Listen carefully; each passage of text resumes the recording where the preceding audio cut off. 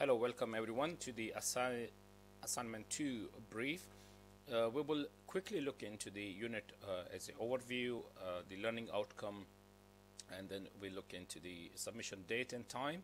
Uh, assignment brief with the marking um, breakdown to achieve your desired grades uh, from assignment 2 submission. Uh, that's the business report. Uh, quickly looking into the uh, unit overview, as we discussed a couple of times before, the unit has to cover uh, both elements, both the operations and project management uh, contents.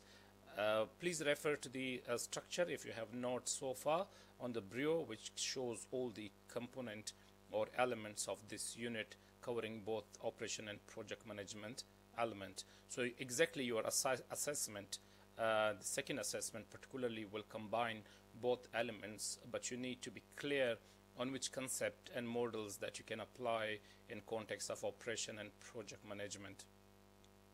We have already covered in nine weeks uh, the key chapters, both from the operation and project management uh, component. However, we are left with only three more uh, discussion, uh, so we will do outsourcing and offshoring, then change management, uh, followed by capacity management, leadership in project, waste management and project closure. So you can look into different tools and technique that we have covered in the operation sides as well as in the project management can be considered when you are doing your assessment uh, for the existing system and how that can be critically analyzed and evaluated for recommendation to enhance and improve or rather to replace with a more efficient, effective, rather productive operation or business management system in place. Uh, the assessment to a learning outcome is exactly the same as it is shown in your unit information form. Uh, the threshold that you should be able by the end of this unit completing second assignment and coming from the first assignment what you have done that you have the knowledge and understanding as well as the right skills and capability about the project and operation management elements that you can apply in real life uh, and then you can see how planning, management, decision making, knowledge, uh, applying range of tools and techniques, uh, business framework uh, that can be applied in real life. Uh, of course, that is important that you understand the requirement of operation and uh, project management theory within any organization to generate appropriate and cohesive tools and techniques to be applied with the right recommendation and the right choices. So uh, from the learning outcome, this is important that you carry on with your second assessment. Uh, the submission of the uh, assessment is week um, 13th, Friday, 14 May uh, 2021. Uh, that's the British summertime 10 a.m. Please don't make it delayed. You have to submit a report, business report, with 3,600 words, which is worth 60% of the total grade in this unit. Uh, as I said earlier, Friday, 14 May is the submission uh, date and time, 10 a.m. in the morning. That's the British Standard Time for summer. Uh, don't delay it. But it is delayed it is out of uh, our hand as a course team. We cannot mark it. So then you have to contact the mitigation team for any relaxation or extension because it is out of our hand to access any late submission, even if it is one minute late or one day late. Late is uh, not accessible for marking on the course uh, team uh, from our point of view. So the assessment brief clearly uh, tells you that you will be applying the um, LTR case study uh, and you have to look again to the uh, case and focus the data storage, data sharing, internal communication and collaboration. Uh, with this information, you will be required to submit a 3600 words business report this time. Uh, of course, your word count exclude any uh, title page, any um, uh, the the index page or uh, you have any graphical illustration, tables, uh, references, bibliography, or any appendices if you have. However, the report has to respond to the following three important sections that you have to cover. You have to give an overview of the current operational system uh, which is in place at LTR uh, to facilitate the internal communication and connect data silos with reference to academic concept, business model, and theories. So that is first section which you have to uh, critically analyze and evaluate how the existing system is working, uh, how it is facilitating any communication, internal collaboration, coordination, data silos, and you have to support your uh, your discussion and your rational thoughts by some decent references. You have to give in the sec second section respond recommendation to improve the existing system if it is not working. Uh, so to these operation system within LTR case study, you have to provide a support with recommendation, uh, supported your rec recommendation with high quality evidence and references where it is possible. So in the third section, you need to present a project plan. So the project master plan to improve your or LTR operational that recommendation that you want to replace or enhance the existing system if it is not working. Um, you need to include in your business plan uh, with your master planning uh, of the project to go ahead. Uh, you show the work breakdown structure of your project, risk management, proposed budget, and all other important elements that you believe is important to be part of the project plan uh, to include in your section 3. Uh, you can show within the report or you can also uh, attach any appendices which you have already highlighted in your main body discussion. However, there's some additional guidance for you the balance between analysis and the actual planning recommendation ensure that your submission are balanced with regard to analysis and recommendation. For example, do not use a lot of space summarizing the case study at the expense of developing your recommendation and considering potential issues.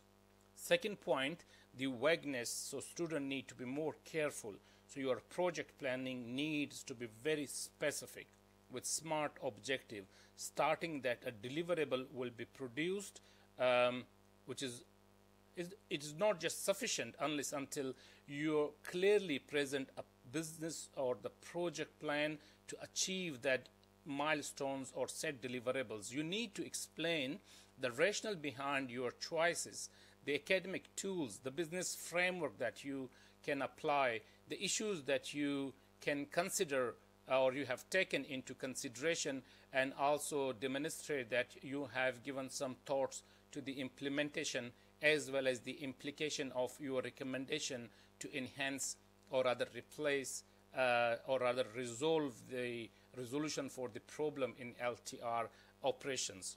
The third important thing is the content, the academic content. You are expected to include academic material into your report rather than relying upon online sources alone.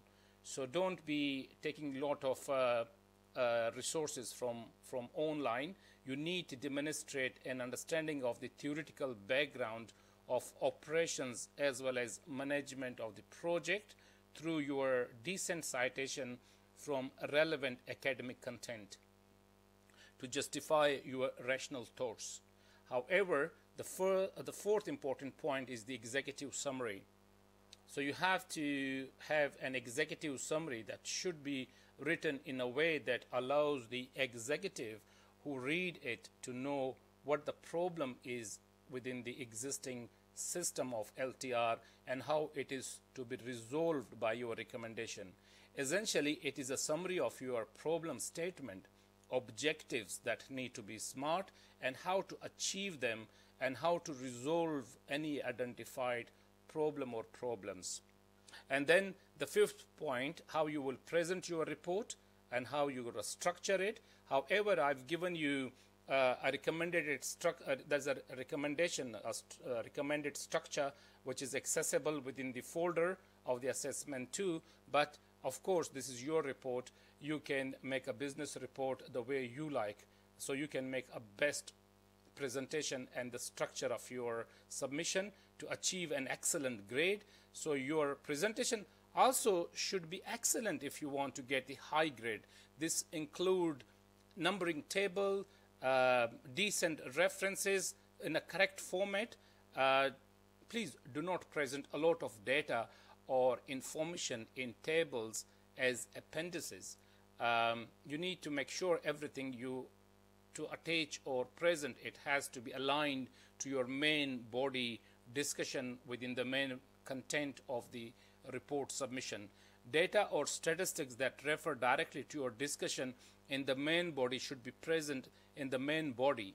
Any table or graphical illustration they need to be numbered and has to be given the source if it is not from yourself uh, and the table and graphical illustration need to be self-explanatory where they're coming from.